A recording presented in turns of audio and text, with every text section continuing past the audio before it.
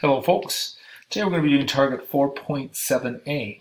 We're writing each percent as a decimal. Well, this is pretty easy based upon what we've already done. So if we have 25% uh, as our benchmark, we know that we can move that decimal two places. We can divide by 100 and we'll get back to 0.25. And that's where we're going to stop today. There's our decimal. So we're going to move this one two places. We're going to get that to 0.35. 90%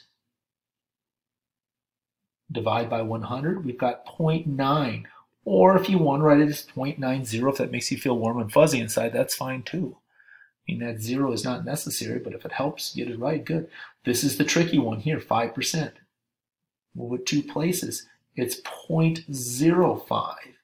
And it makes more sense if you think about 5% of a dollar is equal to 5 cents, right? 50% of a dollar is equal to 0.5 of that dollar.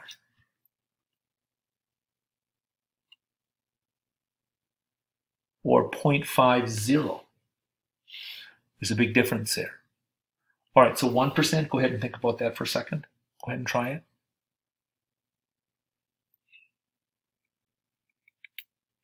Point zero one. These ones here are a little bit tricky.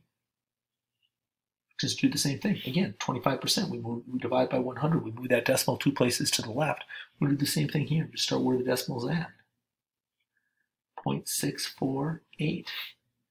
Now, on one that's like 90%, where there is no decimal, we go to the end. We take away the percent sign and put the decimal in, and then move it. That's why I just leave it there like that.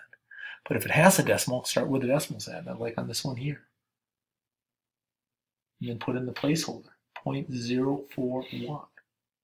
It would be the decimal. Okay, sounds great. Good luck.